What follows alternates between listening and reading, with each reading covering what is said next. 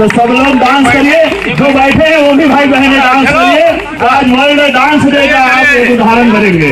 आइए डांस करें और इन बच्चों को प्रोत्साहन करें। अपने बच्चों को प्रोत्साहन करें जो जुम्बा की टीम के लिए जोरदार ताली बजाइए और बच्चों के साथ डांस करिए। बहुत बढ़िया विवेक जी के लिए धन्यवाद।